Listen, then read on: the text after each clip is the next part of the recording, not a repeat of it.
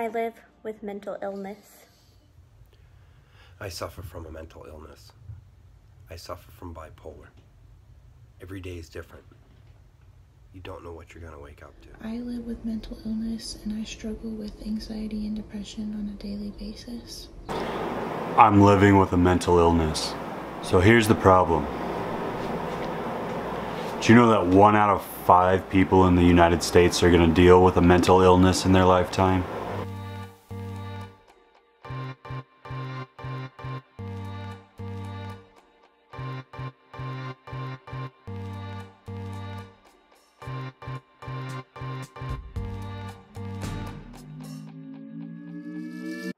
And those are the people that are just living with it. That's not counting the people that are family members, the people that are friends. Do you know one out of eight 911 calls are about a mental illness? That 43% of the US that's affected by a mental illness receives treatment. That leaves 57% of those that have been diagnosed with a mental illness without treatment. Do you know that depression is the leading cause of disability worldwide? And so few people getting the treatment that they need. It's almost sickening. So here's the treatments that they live and swear by. They live by therapy. I go to therapy. The therapy calms me down. But in all honesty, I don't feel like it's truly helping. They live by medication. I take medication. The medication doesn't help. There's one thing and one thing alone that I've found that has truly helped me along the way. Helped me with all of my issues that I'm dealing with up here that I can't stop. For those of you that don't know, I live with PTSD. I live with depression. I live with major anxiety. And I live with ADHD. There's one true thing that's helped me through all of this. My family.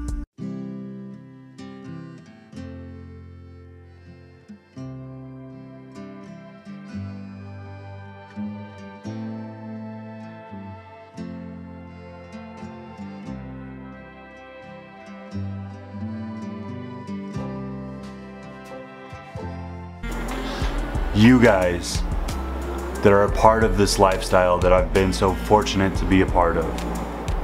But the major thing, the major thing that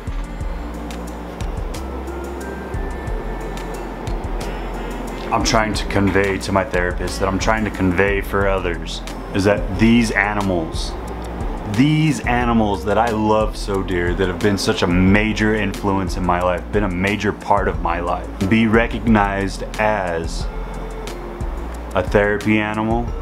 So we're gonna go over it today. And can snakes really be a therapy animal? According to the AVMA, which is the American Veterinary Medical Association, this is word for word what they say a therapy animal is. Therapy animal is an animal assisted intervention in which there is a goal directed intervention of the animal meeting certain criteria in an integral part of the treatment process. I don't know about you guys, but there's many ways to look at that. You could look at it as, okay, well, they're just talking about service animals. A service animal is something that's gonna do something that you can't do for yourself. Today we're finding a way to deal with our mental illnesses and I know so many people in this community deal with the mental illness aspect just like I do. Just like multiple of my family members do. Multiple of my friends some of which are in the community. So the way that snakes work, called the pet effect. And the way it works is pets and therapy animals can help alleviate stress, alleviate anxiety, depression, PTSD. In fact, 74% of pet owners with mental illnesses reported improvements. Improvements in mental health thanks to their pets. Those animals that aren't dogs, cats, miniature horses, things of that nature that can perform tasks for you, they fall under a category. That category is called an emotional service animal. And you can take these almost anywhere depending on whether you have a doctor's note or things of that nature. But under Title III of the ADA, which is the Americans with Disability Act, emotional support animals are not service animals and as such are not required to be given access to all public places. And it's because they're not considered a service animal, they're a support animal. And unless you have a doctor written note, they will never be viewed as such. So what makes snakes such great emotional support animals? Is there such thing as using them for a therapy? Well, if you look at other forms of therapy, you have hug therapy. Hug therapy has been proven to relieve chemicals such as oxytocin and serotonin. Chemicals that in your mind when they're released and in your body when they're released, they make you happy. They help you have control. Our animals are literally pulling us out of our fear, calming us down. That secureness, that, that feeling of you're not alone.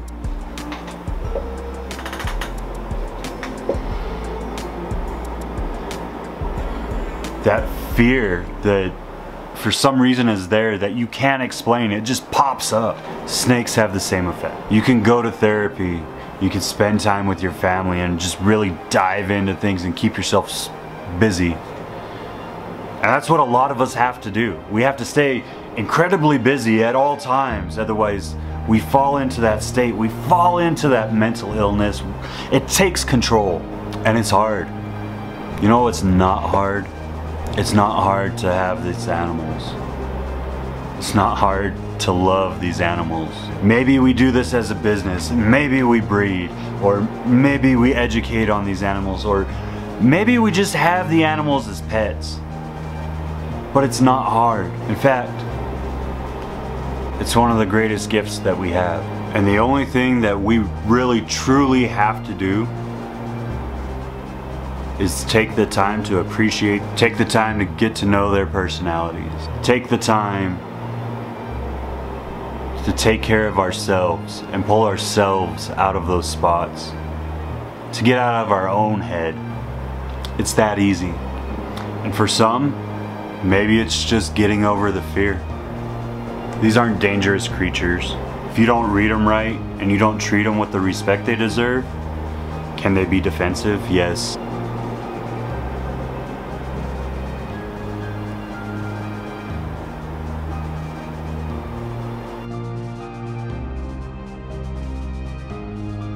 If you watch tonight, I want you to think about this. I want you to consider having snakes. Using those snakes as therapy animals. If you have a mental illness and you're not receiving help, please, please, please, I beg of you, go find some help. Talk to somebody, reach out to me. I have no problem talking to anyone about any issue that they may have. In fact, that used to be my job. Don't be afraid to have an open mind. Make your own decision on this. Don't listen to me just because I love these animals. Maybe snakes aren't for you. Find something that's for you. Thank you all for watching. Leave a comment if you need help. Let us reach out to you. Leave a comment on what you think. What you think the best idea to battle that mental illness is. There's a reason why I stay, say stay blessed in my videos. And that's because I am blessed. I'm blessed to be here. I'm blessed to have somewhat of a solid head on my shoulders to be able to provide for my family, to be able to live with them, to live with my animals and be able to just do what I love to do. to be walking a path to where I'm gonna be my own. I'm gonna take care of my own, and I'm not relying on others for that. And that's powerful. Find your power, find your way out. It's a journey, and unless we take those steps, unless we use our mind and do what we have to to progress in our life, we're always going to be stuck. I don't want that for anybody else because I've been there. I know how that feels. To be trapped, to almost feel paralyzed, to watch things happening in your life that you don't agree with, but you almost feel powerless. You're not. I guarantee you, you're not. The hardest thing is to take that first step. So if you're dealing with a mental illness, take that first step with me today.